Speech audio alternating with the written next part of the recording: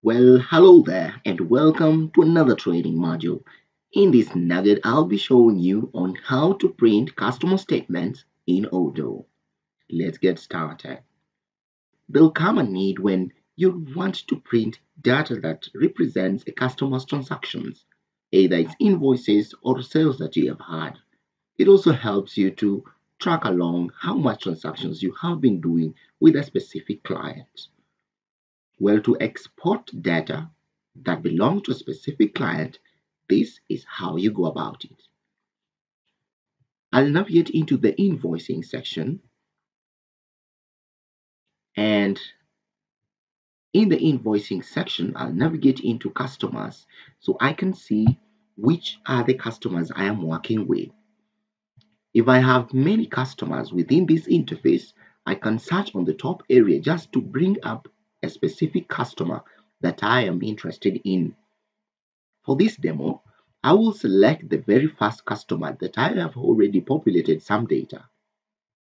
If I click on this first customer, I'm able to tell all the details about that customer, including some of the transactions that we have had at the top section.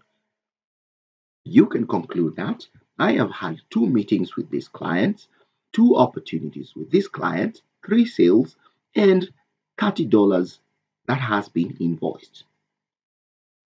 Now to look at the number of sales that I have done, I'll just click into it, uh, the sales option directly, and it will show me in a list aspect how many of these I have done and the dates and the serial number that I have used. Don't forget, also the statuses are involved in these outputs. I can tell that this has been fully paid.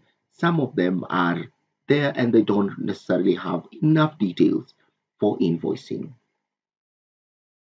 Well, I want to export this information so I can use it to share with the client or within my internal teams.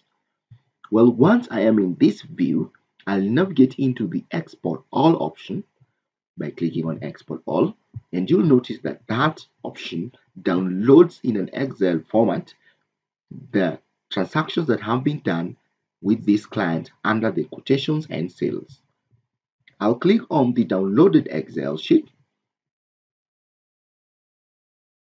and you can tell that now I have in Excel sheet all the transaction, all the statements of that specific client showcasing the dates of the transactions, the name of that customer, and any other vital information including whether the invoices have been paid or they are still in the pending state.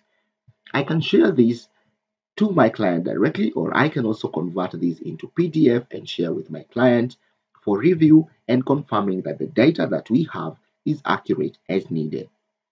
Well, that is how you export a customer statement in Odoo. I hope you enjoyed and I'll see you in the next nugget.